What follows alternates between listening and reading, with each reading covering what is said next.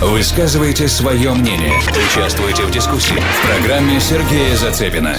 Когда правительство боится своего народа, это свобода. Когда народ боится своего правительства, это тирания. Томас Джефферсон. Неполиткорректное ток-шоу, которое заставит вас думать. США никогда не будут разрушены извне. Если мы дрогнем и потеряем нашу свободу, то только потому, что мы уничтожили себя сами. Авраам Линкольн.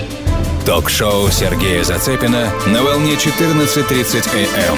Будь в центре событий. Итак, уважаемые дамы и господа, как вы слышали, а кто там иде? А, ну, что я могу сказать? У нас сегодня для вас есть еще один сюрприз. А, в первом часе у нас для вас был, или у нас с нами был Юрий Табак. Ну, а сейчас с нами Слава Каганович. Добрый день. Известный вам э, человек, чикагский наш. Ну, я его называю белым аистом, потому что он прилетел из самой Белоруссии, но он не один. Он с гостем. А вот гостя Слава представит сам. Прошу. Да, я, друзья, сегодня у нас опять будет белорусский час, потому что э, все мы, не только минчане, очень переживаем за то, что происходит у нас на нашей дорог, далекой и такой близкой родине. И сегодня я хочу представить вам человека, который находится прямо в гуще событий и который нам, э, я надеюсь, расскажет о том, что сейчас происходит. Зовут его Виталий Новиков. Мы познакомились во время наших гастролей э, в городе Минске в сентябре прошлого года, когда театр СХТ, в котором служит Виталий, пригласил нас на свое 15-летие, вот, и мы э, познакомились с удовольствием, отметили, что у нас, оказывается, есть еще очень много общих знакомых, э, и моя ближайшая подруга, и Виталия ближайшая подруга, так оказалось случайно. Ну, об этом, может быть, потом когда-нибудь. А сейчас, э, Виталий, а, ну, поздоровайся да. с Чикаго. Добрый день, Чикаго, прекрасный город замечательный город, чудный город. А, знаешь что, давай мы построим так. А, вот а, много вопросов очень задают. И а, мы, честно говоря, не знаем, правда ли это или мифы. Давай попробуем раз, развенчать а, какие-то слухи и мифы. А, миф номер один, что после всплеска такой гражданской активности и после того, как прекратились задержания 2-3 дня назад, а, все пошло на спад, и, в общем, все успокаивается, что дает действующей власти а, возможность не только на передышку, а просто восстановление своего статус-кво. Так ли это?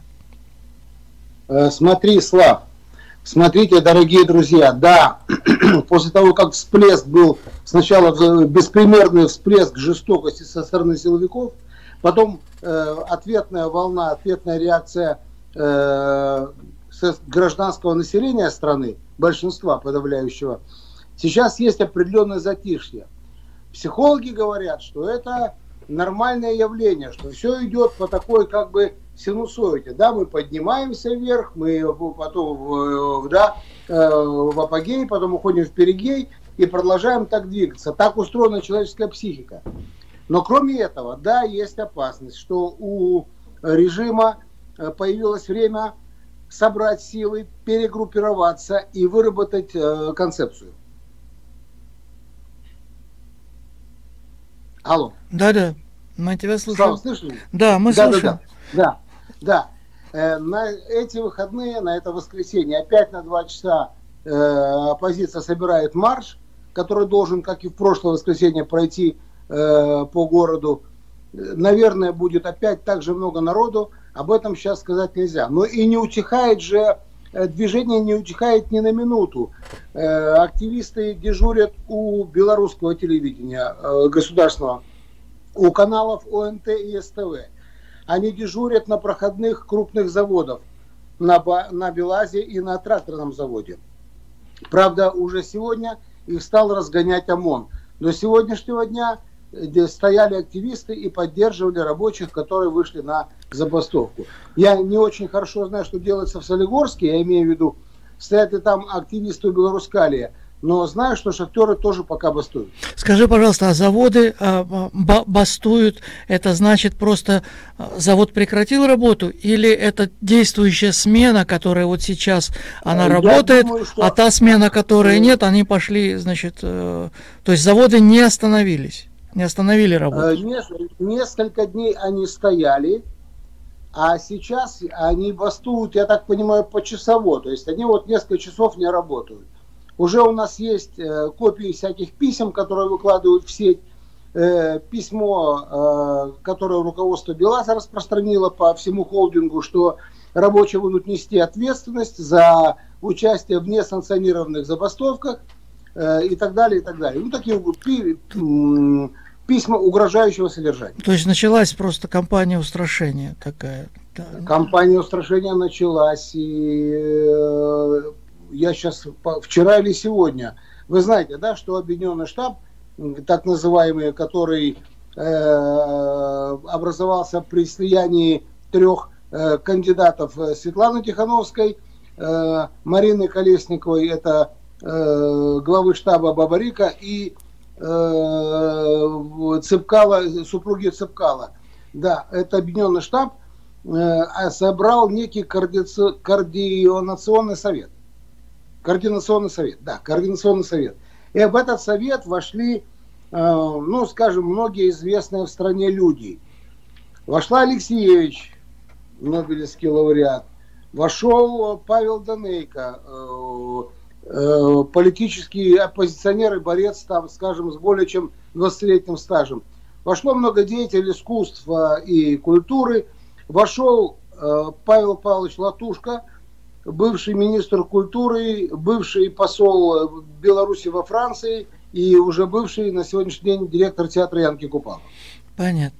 Скажи, пожалуйста, а вот э, мне, например, задают много вопросов о том, что э, вот такая неслыханная жестокость, которая происходила, и э, люди стоят сейчас вокруг Новолодарского там и Вокрестина, там вокруг этих тюрем.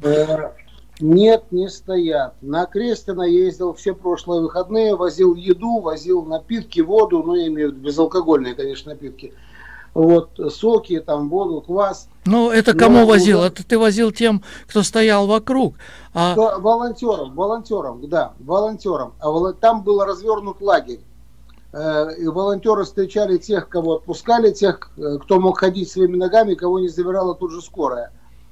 Э, и они их тут же кормили, тут же их э, давали им э, средства связи связаться с родными, одевали, если надо, если они иногородние расселяли по квартирам и обеспечивали доставку домой. А достаточно ли это? Послушай, ведь там, ведь каждый час человека, который провел там за кратами, вот в этой тюрьме, это это там, там же все продолжается. То есть я просто вот спрашиваю тебя, так это как? А, мирное вот такое противостояние против того, что там каждый день, а, если не убивают, а в конце концов и убивают людей, то это же ну, творится беспредел полнейший. То есть каждый час промедления, пока люди там находятся, а, вот эти мирные демонстрации, которые стоят вокруг, они даже ведь не блокируют, не скажем, не, не блокируют ну, въезд и выезд. Хотя бы это можно было сделать, как-то, чтобы смены не менялись. Дня, со вчерашнего дня их стали уже разгонять, убирать эти лагеря потребовали силовики – Смотри, Слав, какая тут возникает сложная дилемма, какая она непростая. Когда собралось в прошлые выходные практически полмиллиона человек в городе, это очень много. То есть, ну, невероятно. Вы, наверное, видели да, мы видели, фотографии. Да, видели. И, да. Они, ходи, они ходили и к КГБ, они ходили на Володарского, они ходили на Крестина. Но удивительное свойство именно белорусских протестов в том, что они действительно мирные. Ну, то есть, что было делать людям? Взять Окрестина приступом? Ну, спасти людей. Взять приступом? Ну, спасти людей. Это невозможно. Это невозможно, потому что это развяжут руки, развяжут руки властям для применения уже, ну, еще более э, мощного противодействия поменяют резиновые пули на боевые. Это очень, это очень сложно. Но получается так, что кроме мирных протестов у народа вообще нет никаких средств.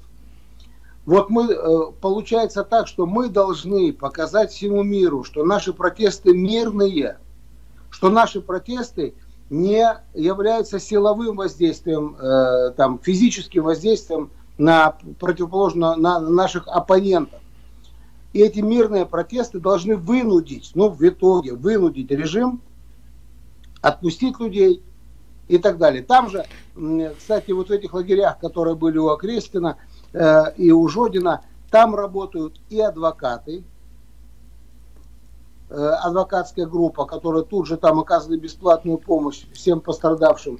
Ну и скорая помощь пропускали туда. Но ГАИ, который дежурил на въезде, вот когда я два раза приезжал, там дежурил только ГАИ. Довольно они были все миролюбиво настроены, ни, никаких не делали нам э, неприятностей, не создавали проблем. Окей, okay. еще, еще один миф. А, миф о том, что а, вылетал а, борт из аэропорта Минск в Москву и, не долетев, вернулся назад, и то, что из Москвы все-таки из России прилетели, прилетели какие-то самолеты с, с живой силой, с какими-то зелеными человечками. Нет, друзья, никаких зеленых человечков здесь нет. Я сейчас расскажу, что, что происходит. Значит, эм, во-первых, э, про тот самолет, который летел из Минска в Москву, потом не летел и развернулся, ничего не знаю и не буду вводить в заблуждение. Сейчас на э, государственных телеканалах поувольнялись десятки людей. Это ведущие, это технари, которые обеспечивают ведение эфира, э, и много-много людей, которые сценаристы и так далее, режиссеры, под, э, ну, под давлением, что ли, совести. Они э, написали заявление и вышли. Мы, когда дежурили на телеканале БТ, туда приезжала Качанова, это глава Совета Республики, приезжал Вакульчик, это глава КГБ они, э, ну, там прям давили на персонал, и тем не менее оттуда каждые минут 15-20 выходили люди все в слезах и показывали заявление, что они уволены.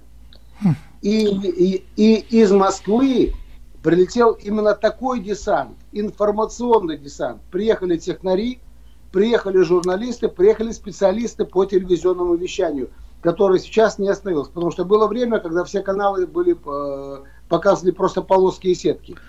Это же информационная, информационная такая поддержка режима, получается, да, из Москвы. Да, да, это, это, поддержка, это поддержка информационной службы режима. Скажи, а какой-то есть возможность какая-то организовать какое-то альтернативное радио, альтернативное телевидение? Нет, нет, Слава, в этой стране нет. Скажи, пожалуйста, а, а ну вот переходя к тем с, соотношением в а, какая-то работа проводится вот этим организационным комитетом. Например, э, я понимаю, что с ОМОНом сделать вряд ли. Мы о нем еще хотелось бы тоже поговорить, об ОМОНе. Mm-hmm. Это еще один миф, который следовало развеять. А кто-нибудь разговаривает с ними вообще-то? Ведь там же все-таки среди такого количества, наверное, все-таки есть адекватные люди. И еще один вопрос. Армия. Вот, вот, смотрите, вот как, вот что происходит с армией, кто-то разговаривает, ведь это может быть альтернативная какая-то сила, потому что это действительно сила с оружием. Армия это единственная сила в стране. Э, но, смотрите, давайте по порядку. Разговаривать с ОМОНом удается только посредством социальных сетей. Близко к ОМОНу подойти нельзя. Они э, как бы э, находятся в своих казармах на военном положении но по, по, по, по социальным сетям на них пытается воздействовать общественность, призывая их э, к милосердию, призывая их э, э, как бы к человечности. И есть случаи, когда то несколько, какое, ну, какое-то количество, я не знаю точных цифр, э, э, э, людей, которые не смогли, они уволились из ОМОНа. Выбросили погоны, написали Но это, это единицы.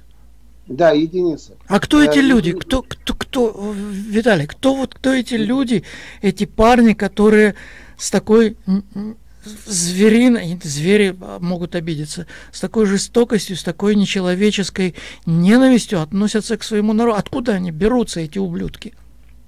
Слав, это нельзя объяснить. Знаешь, честно, честно говоря, я как, как, поскольку мы с тобой оба евреи, то я, э, когда ну, читаю и читал и вникал в ситуацию зверств э, немецко-фашистских захватчиков на, наших, на территории бывшего Советского Союза, э, мне почему-то всегда казалось, что это какое-то свойство именно, именно э, немецкого характера, немецкого, немецкого национального сознания, что ли. Что вот такое без, без слепое, слепое послушание и подчинение.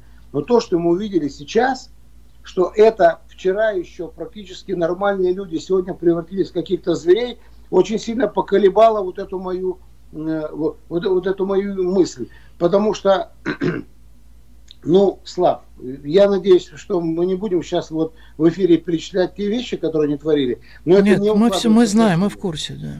Да, да, да. Просто, ну, я думаю, что это неэтично. Но это то, что не укладывается в сознание. Пытки, насилие, убийства, продолжающиеся сутками. Да. А у нас есть звонок, и э, я, кстати говоря, давай мы сейчас сделаем, э, я объявлю телефон в эфире, и я думаю, что у людей, э, нашего, наших слушателей будут к тебе вопросы. 847-400-5200. Я прошу вас только, пожалуйста, называйте себя. Добрый, добрый день. Здравствуйте, меня зовут Светлана. Я вас, Слава, хочу поблагодарить, что вы не все это, не все принимаете на веру. И вот про то, что погоны там все сносят. Но я не об этом хотела, не о похвальбе там комплиментов, а о том, что давайте проанализируем общую картину, что происходит за последние пару дней. Я кратко. Во-первых, Путину звонили Меркель и Макрон. Путин никому не звонил. И он сказал, не они, что внешнее вмешательство суверенные дела государства недопустимо. А я бы еще не удержалась и в конце добавила. Я понятно объясняю, это Путин сказал. И, да, заметьте, да, но мы, мы, мы, мы поняли вашу, вашу позицию. Сейчас вы нам будете рассказывать, какой Путин белый и пушистый. А, вот я с вами не согласен, поэтому извините, пожалуйста, у нас радио для пророссийской пропаганды ну никак не открыто. Так что извините, пожалуйста, мы э, уважаем ваше мнение, но э, не разделяем его. И поскольку кнопка у нас в руках, э, я не позволю вам э, заниматься пророссийской пропагандой здесь. Вот вам надо, вам надо немножко э, четче смотреть на то, что происходит, и, может быть, больше разговаривать с людьми, которые находятся там. Извини, Виталий. 847-400-5200, а, пожалуйста, по вопросам а, ситуации в Беларуси. Виталий, скажи, а, а вот за все это время какая-то, я понимаю, да, заводы продолжали работать, а, а какая-то культурная жизнь, она тоже как-то продолжалась, да? То есть народ по-прежнему... Ну, ну что ты, дорогой, ты что, не знаешь ситуацию вокруг театра Янки Купал? Да, ну там все уволились, да, я знаю. Я там видел сначала, кукольный театр сначала, весь, я видел филармонию, оперный театр, который стоял, там э, хор с оркестром. Во-первых, в связи с ситуацией коронавируса все, все зрелищные учреждения, они же стоят. Угу. Практически не работают. Э, государственные э, учреждения, они находятся на все-таки государственной дотации. Частные театры, такой как наш СХТ, они просто стоят без всякой, ну, нет работы, нет и денег. Актеры несчастные устраиваются или, или таксовать, или э, разгружать вагоны, условно. Но любую, выполнять, берутся за любую работу, чтобы прокормить семьи. Но когда началась вот это вот после 9 августа, вот эта беспрецедентная акция насилия в нашей стране, то все вышли, хор на филармонии пел белорусский гимн «Древнюю погоню». Э, то же самое театр оперы и балета. Э, Латушка Павел Павлович, э, который был директором на то время Янки Купала театра, выступил с неприятием, так сказать, ну, происходящего. На следующий день был, он был уволен. В этот же день практически вся труппа, процентов 85-90, написала тоже заявление об уходе. Их не уволили пока, им запретили входить в театр. В театр приехали какие-то странные люди, которых туда запустили под предлогом санитарной обработки. И, ну, да. И на следующий день на канале СТВ вышел омерзительный сюжет, э, э, который назывался так, типа, посмотрите, во что эти свиньи превратили театр, отремонтированный на государственные деньги. И там были показаны пустые бутылки из-под водки, поломанная мебель. Ну, они же там гульнули, эти ребята, так я понимаю. Да, да, да, да, да, да. Что вот какие мы, так сказать, им отремонтировали театр, и вот что мы получили, так сказать, взамен, и вот по итогу. Это вот это, это вот этим занимается вот эта команда, которая прилетела срочно. Для... Я не знаю, это, это ли эта команда или это, это идея. Команда или так, прилетела, я уверен, Слава, они сидят на выпускающих, э, ну, в студиях выпускающих вещания и просто поддерживают оборудование, ну, поддерживают, так сказать, вещание каналов. Потому что когда уволились технари, почти на всех каналах появились сетки, но они перестали выходить в эфир. Понятно. Скажи, пожалуйста, ну вот эм, ситуация с теми, кого отпускают после пыток и так далее, все-таки люди отсидели, кто трое, кто 15 суток. Это было ведь тоже сделано типа тройками, да, так вот поймали, значит, ага, ты сидишь 3, трое суток, ты сидишь 15 суток. А вот э, та цифра, которая, которая мелькает все время и э, в интернете, что 81 человек, э, их вообще никто найти не может, о них вообще никакой информации нет. Слава, смотри, пропавшие люди, конечно, есть Цифры пропавших людей мы не можем знать. И, к сожалению, боюсь, никогда не узнаем. Я объясню тебе почему.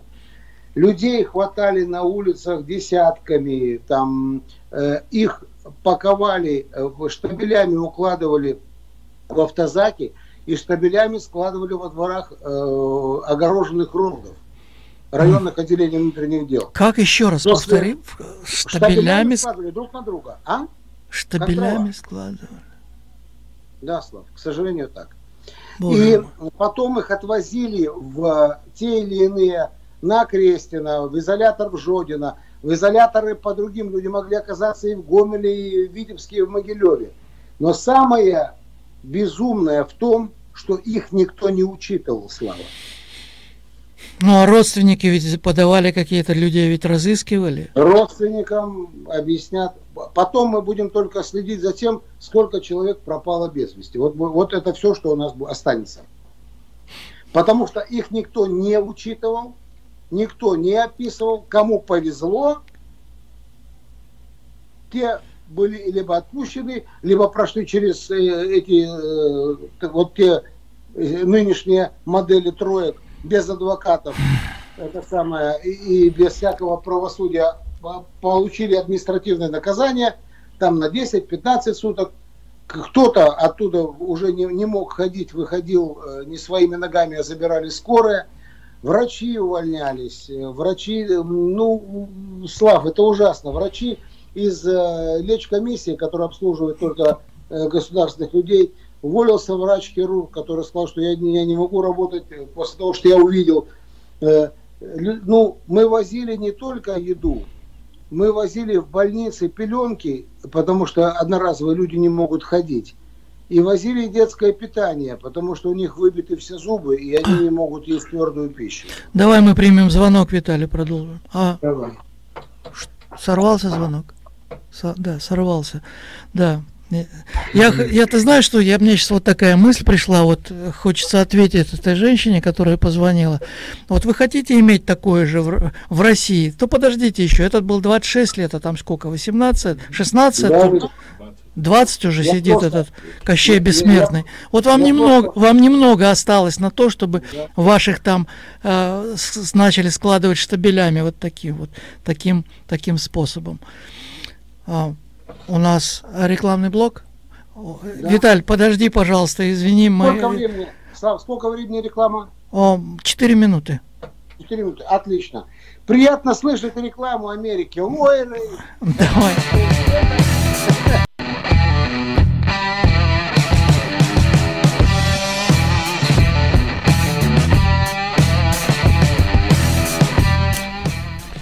Уважаемые дамы и господа, мы возвращаемся в наше неполиткорректное ток-шоу а, к Славе Кагановичу, к его гостю а, Виталию Новикову. А еще раз номер телефона в студии 847 400 5200. А, пожалуйста, если у вас есть вопросы, задавайте. Пропаганду здесь действительно не... Сегодня мы ее не принимаем. Поэтому вопросы есть, с удовольствием ответим. А, мнение есть по поводу Белоруссии, пожалуйста. Пропаганда не принимается сегодня. Итак. Да, Виталий, вот а, мы знаем, и вы, наверное, знаете, может быть, я ошибаюсь, еще один а, или миф, или это правда, скажи, а, что экономика Беларуси на 98% э, зациклена с российской экономикой.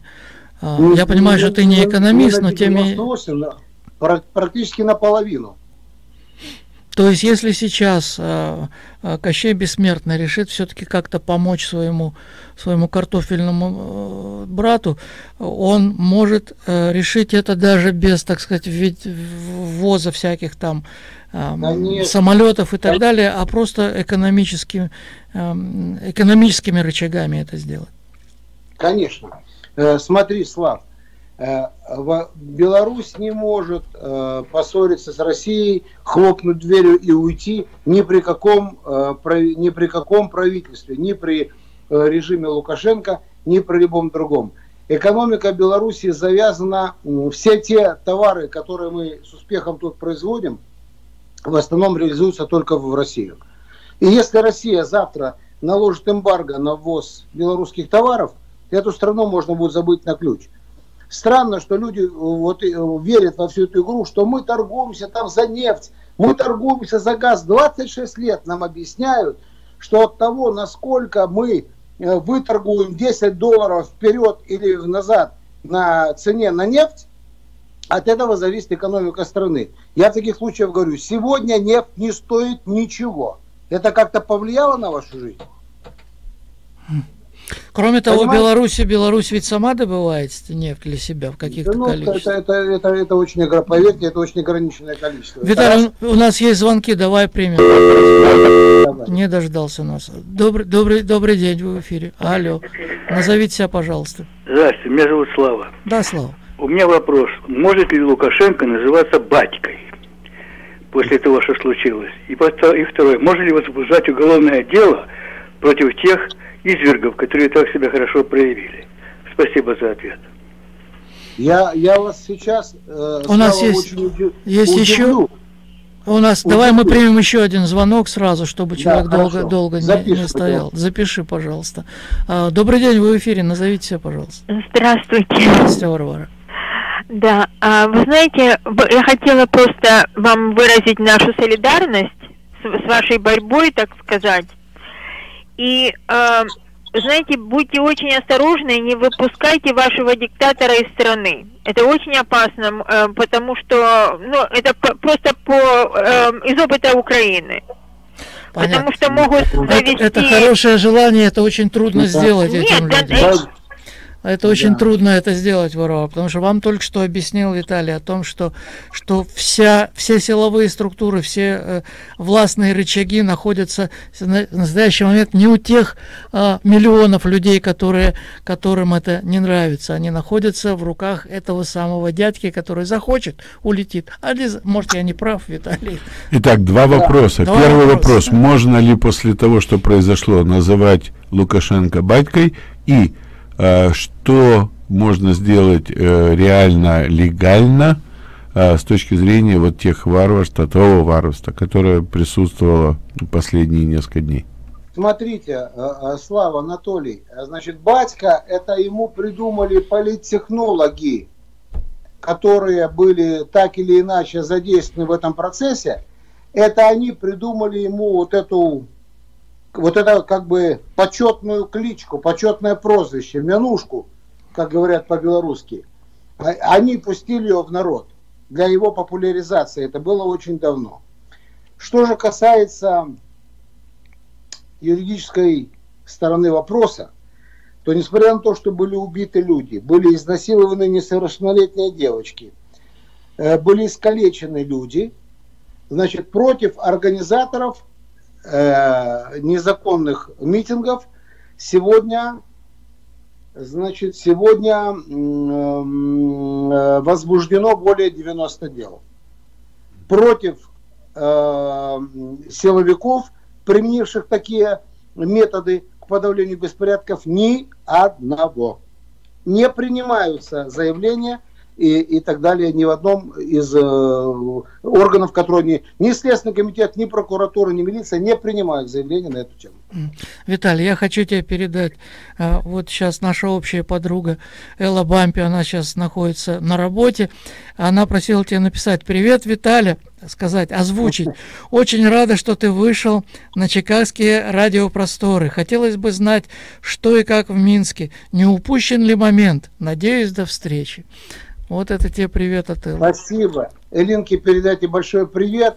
Что касается момента, я хочу сказать следующее, что я хочу напомнить украинским нашим друзьям, что от начала, так сказать, э, волны протестов до бегства Януковича прошло три месяца. Так что не торопитесь. То есть ты видишь аналогию, а, аналогию... Да. Э, я, я вижу не аналогию. Славочка, можно я на одну секундочку отбегу? На одну секундочку, ладно? Давай. Вот на одну секундочку отбегу. Сейчас мы поговорим про аналогию. Я хотел спросить, э, ну, отбегай, отбегай. Э, я просто аналогии, честно говоря, я не знаю ситуации в Украине. А вот то, что было, угу. когда когда на пришел, Майдане, на да. Майдане и по, по, на протестных, так сказать, ожиданиях вышел. А, Сашка, у нас Зеленский. есть два звонка, ты хочешь вот принять давай, сейчас? Давай, да? мы сейчас давай подождем попробуем. Виталий, мы можем подождем? поставить. Друзья, подождите, пожалуйста, сейчас Окей. Виталик отскочил, что-то у него там в Минске загорелось. Вот, но э, знаешь, мне пришла такая мысль, я вот его тоже спрошу об этом. Все-таки ситуация в Украине и в Белоруссии, наверное, несколько а, разное в том плане, что если мы слышим, что в Украине а, власть помогли взять олигархи там, да, mm-hmm. там, то есть там олигархические структуры, там они какие-то там между собой, не знаю, я ситуацию, мне трудно сказать, я поверхностно знаю, то, насколько я знаю, в Белоруссии таких олигархических структур нет. То есть там есть... Олигарх. У там... нас в Беларуси только один олигарх. Там есть богатые люди, правильно, Виталий, да? да? То, да которые, да. которые находятся вот под ним, которые там забрали людей бизнесы, это я знаю, потому что у моих друзей просто пришли и сказали, так, это, это не твое уже, у тебя, у тебя прибыль 250 тысяч долларов, значит, ты уже, это уже не твое. А не нравится, три месяца в тюрьме человек оттуда выходит шелковый, ему уже не надо ни бизнес, ничего. Я знаю этих людей поименно. Вот, но просто э, такое маленькое отступление было, но в Беларуси, на мой взгляд, нет таких олигархов, олигархов и олигархических структур, как в Украине. Украина, Украина по своему государственному устройству все-таки это олигархат, и она таким была до Януковича очень точно, а сейчас э, новое правительство пытается все-таки это поменять каким-то образом, но вы знаете, как тяжело олигархам расставаться с деньгами. Поэтому там этот процесс очень тяжелый и сложно идет. Но у нас, посмотрите, э, э, Слава, что касается Белоруссии, ведь, э, ведь это то, что происходит в Беларуси, я имею в виду эти протесты, и, то, как они проводятся, их надо мировым, изучать мировым, это, это вклад в мировой опыт протестов против действующей власти за вот уже сколько, 12-13 дней протеста, в Беларуси не разбита ни одна витрина. Не сожжен не ни один автомобиль. А? Не сожжен ни один автомобиль. Не сожжен ни один автомобиль. Автомобили разбивали силовики. Угу. Люди, когда становятся на скамейку, чтобы что-то сказать, они разуваются, Слава. Люди, угу. когда проводят митинги и всякие э, массовые мероприятия, после этого убирают за собой мусор. Если, вот я, если они идут, мы видели, и останавливаются на красный свет, переходя дорогу. Ну, но минчане всегда толпа. этим славились, говорили, вы, вы ненормальные, вы идиоты, никого нет, а вы стоите на красный свет. Это да. да. да, да. Идет, толпа, и она становится на красный свет. Давай послушаем, у нас есть вопросы у наших слушателей. Давай. Добрый день, вы в эфире, э, назовите себя, пожалуйста. Э, добрый день, меня зовут Юрий. Э, очень жалко, что происходит в Беларуси. Не могу навестить свою маму. Э, вопрос такой, не кажется ли вам, что какая-то моральная ответственность за все вот это вот за беспредел президента нынешнего или так самозванного господина Лукашенко лежит и на Соединенных Штатах, в частности на секретаре Помпео и бывшем э, э, советнике Болтоне, которые навещали Лукашенко не так давно. И ну, вы, по-моему, одну дали... минуточку. Одну, вы, вы, вы, кажется, уже звонили по этому поводу, и я вам лично я отвечала. Я не поэтому. Я вам хочу да. спросить, вы расскажите, как а, в колонны ОМОНовцев врезались э, по счету 18 машин. Вы расскажите о переломанных позвоночниках ребят военнослужащих и спецназа. А где, откуда, это. Откуда вы, берете, вы, откуда вы берете вы видео зайдите на YouTube и другую сторону, посмотрите, ну хватит пропагандой это заниматься. Там выключай, отключай, отключай это. Нет, Я не Слава, видел ни одного видео Слава, такого. Вот да, эта Виталий. женщина, она не, не, не, это не пропаганда, это правда. Э, несколько раз у нас есть только два случая, по-моему, два. Да, Volkswagen и BMW я видел. Есть два случая, когда, не выдержав того, что людей избивают и убивают, они действительно э, машины сбивали э, ОМОНовцев. Я не знаю, сколько их сбито, 18 человек вряд ли. Я думаю, что человек ну, 3-4 пострадало. У этой девушки, этого, да. видимо, Но... нету родственников там, которые, которых месили это. А, а, значит, можно понять тех людей, которые, у которых, Конечно, вот я видел сегодня понять. видео, у него сына убили, и стоит взро... человек под 60 лет, он говорит, у моему сыну, он 87 -го года рождения, они его убили. Я себе представляю, что этот человек может сесть в машину и поехать мерзавцев раздавить. Я бы так сделал, я бы так сделал. И я бы не лил слезы крокодили по мерзавцам, которые закрывают свои лица и месят людей, и, и, и выпускают из, из, из этих, в больницах, что творится там. Вы, вот вы лучше посмотрите на, на видео, которые показаны там. А вам ОМОНовцев жалко. Да они ряхи отъели там на, на лукашенковских харчах. Скажи, ну, Виталий, скажи, кто эти, кто эти люди? Вот кто эти ублюдки, которые стоят там, закрыв лица? И, и откуда они взялись вообще? В Беларуси. Я, я, я, я объяснение этому, честно тебе скажу, не нахожу. Э, говорили, это Путин прислал, никакой Путин никого... То есть там нет российских прислал. войск? Нет? Нет, конечно, нет. Это, это еще один миф. Да, да, это чисто наше местное э, белорусское, э, белорусское общество, вот, вот так разделилось. Ходят разные, э, разные ходят вбросы, скажем так.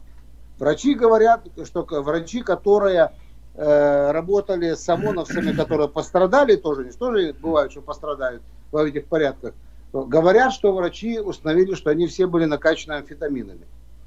Второе, что говорят, это то, что они получают 300 долларов в день, а это, я думаю, и для Соединенных Штатов неплохие, неплохие деньги, деньги, а для, а для Беларуси это фантастические деньги. Но это нулевая как бы ставка. А если он Э, побьет журналиста, значит, э, он получает 2000 рублей, это почти 1000 долларов, сейчас чуть меньше, скажем, долларов 700. Если он э, разобьет технику, еще журналисту, еще получает деньги и так далее, и так далее. Откуда деньги, Виталий? Говорить... Откуда а? деньги? Деньги эти откуда? Ну, я думаю, так, послушайте, Слав, ну, как, как откуда? Они есть у наших власть придержащих эти деньги. Они есть. Я думаю, что там же ведь не только замешаны деньги Лукашенко, там же еще замешаны деньги людей, которые в этом тоже заинтересованы, чтобы власть да. не поменялась. Приближенная Но, Там, и, и я думаю, понимаете еще что, Толя и Слава, я думаю, что тот, тот вброс, который сказала командование этим людям, не весьма уже адекватным, что ни в коем случае они не понесут ответственности. Mm. Понимаете? Карбланш, да. Да. Я думаю, что вот это явилось спусковым крючком. Более того, э, вчера, вчера, вчера Александр Григорьевич наградил всех силовиков. Всех силовиков, отличившихся в подавлении беспорядков, как он это называет, они были отмечены и представлены к наградам. Ну, по поводу, по поводу Соединенных Штатов я хочу сделать тут тоже. Я, мы как раз были там, когда мы были в Минске, это было как раз после того, как туда приехал бывший а, советник по национальной безопасности Болтон вот. Ну так вот ответить надо, сказать, что а, через много-много лет там наконец в Минске открылся консулат, потому что тот же Лукашенко ведь а, всех американцев лет 11 тому назад или 12 выгнал и закрыл, там было посольство полном, полномасштабное. Полноценное, вот. да. Да, а после того, как приехал Болтон, как раз был открыт консулат, в который, кстати говоря, я говорил об этом, меня, гражданина Соединенных Штатов, Виталь, меня туда не пустили. Там, Почему? Я и как это в том анекдоте, я и паспорт показывал, по-английски разговаривал. Вот. И это стоял, стоял какой-то парень, видим, ну хоть он хоть лица не закрывал, с таким говорящим на таком суржике, и сказал, что нельзя. Я говорю, позови начальника какого-нибудь, позови. Но, но меня в американское посольство, в консульство в Минске не пустили. Я хотел бумагу там подписать, э, племянника пригласить в гости. Вот. Ну, в общем, так что я не знаю, в чем могут обвинять э, Соединенные Штаты. Давайте, давайте ответим Юрию. Давай давайте ответим. ответим Юрию. Э, Юрий, ведь то, что ту политику, которую ведут по, по отношению к нашей небольшой стране, сильной страны, а это касается и Соединенных Штатов, которые я лично глубоко уважаю, и Евросоюза. Эта политика, ну, сказать, э, сказать вам как бы прямым языком, нас предавали не, не, не один, не два и даже не десять раз. То есть э, Лукашенко очень давно понял, как манипулировать и как, как разговаривать с Западом. Как только он что-нибудь сделает э, плохое в сторону России, тут же ему дают кредиты. Как только он что-нибудь плюнет в сторону Кремля, тут же получает э, э, снятие санкций тех или иных, и то, и другое. Как можно было все знают о том, насколько это режим, прямо скажем, диктаторский и абсолютно антидемократичный, антинародный режим. Но ничего, ничего не мешало Меркель сюда приезжать. Ничего не мешало. Все приезжали сюда, приезжал и Помпео, приезжал и Болтон. Они, потому что э, мы стали разменной монетой в том противостоянии, которое сейчас происходит между Россией и цивилизованным миром. И, как то, и, и Путин это понял, э, в смысле Путин, и Лукашенко это понял. Э, как только Путин э, пытается его там как-то урезонить и выставить в рамки, он тут же бежит на Запад. Как только Путин видит, что он бежит на Запад, он говорит, подожди, подожди, дам тебе денег. Он тут же возвращается. И тогда он, он же очень ловко всегда манипулировал вот именно вот этими геополитическими э, нитками дергал, за, за них тягал, которая кто мы такие, Беларусь? Маленькая страна, кому она нужна, кому она интересна. Кстати, я прошу прощения, я вас прерву буквально на секунду, Виталий. Это вот то, что вы сейчас сказали, это как раз ответ вот тому нашему радиослушателю, который э, спросил у вас, не лежит ли вина за то, что происходит на плечах Помпео и Трампа. Да, это, конечно, это, это ответ Юрию. Я же говорил, давайте Юрию ответим. Да, да. да, вот, это, да. вот это был ему ответ, конечно. Давайте примем еще один звонок. Добрый день, вы в эфире. Говорите, пожалуйста. Говорите, пожалуйста. Алло. Да, здравствуйте, я хотел... Назовите себя, пожалуйста. Мы с анонимами не разговариваем. Скажите, пожалуйста, как Это Яков. Яков, да, очень приятно. Слушаем вас. Мы говорим про Белоруссию, да? Да. Конечно, да. Мы не про Белоруссию, мы говорим с Белоруссией, мы говорим с Виталием Новиковым, который находится в Минске сейчас и рассказывает а нам вот с места спросить, событий. Да, вот я хотел спросить, э, не, упустил, не упущено ли время? Мне, мне сдается, что есть э, такая, э, такое впечатление, что когда были протестующие возле этого места, где все содержались э, заключенные, если бы еще поднажали, то могли бы добиться и освободить всех э, находящихся внутри здания. И тогда, может быть, это была бы точка, при как, которой... Каким образом, извините, я вас спрошу сейчас. Да, как, да. Вот вы говорите, поднажать, каким образом? Ну, э, было очень много людей там. То есть И, пойти, наверное, пойти, пойти живым Пойти на щитом на, приступ, поле, на, на поле пойти. Ведь в них бы стали Понимаете, стрелять. Понимаете, снимать тапочки и вставать на скамейку, наверное, это не тот метод, который надо применять с лукашенковскими спе- спецназом. Да, спасибо большое. Давайте, К сожалению, каждый мнит себя стратегом, видя бой со стороны. Это давно уже известно. Да, А, Виталий, ну ответь, пожалуйста. скажите, пожалуйста, Виталий, а есть ли какой-то вы- э, выход э, у белорусских граждан на э, международный суд в Гааге, допустим, суд по защите прав человека? Можно Я ли думаю, как? что, я думаю, что нет. Если это не, если когда, э, если, Лука, э, если режим будет э, сброшен и поменяется власть, тогда да. А, а если так сейчас писать в Гаагу, то я, кстати, этой процедурой интересовался. У меня там, ну ладно, да, у меня самого были там такие случаи, один вернее, и э, мне объяснили, что это займет годы. Годы. Да. если какое-то частное лицо будет вот в ГАГу обращаться и так далее. Только когда, скажем, будет сменен режим, придет другая власть, люди будут арестованы, предстанут перед судом, и уже они будут решать, в ГАГу ли их отдавать, или на месте, так сказать, э, принимать решение. Но э, частным порядком дойти до Гаги это очень долгий, длинный и невероятный путь. Понятно. Я думаю, что единственный путь, который есть у нас, это продолжать забастовки и продолжать противостояние.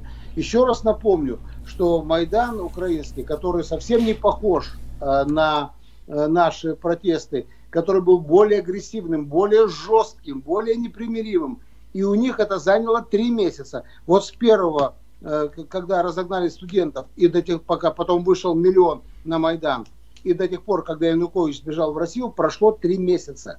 Три месяца. А это было каждый день. И в Украине это было все очень жестко. И жгли, и разбивали, и дрались, и так далее. Здесь же это происходит по-другому. И, и я думаю, что вот такой метод э, путем забастовок, стачек и противостояний вынуждать. Виталий, спасибо тебе большое. Мы очень рады слышать тебя э, в нашем городе. Может быть, настанут лучшие времена, когда мы встретимся или здесь у нас, или там у вас.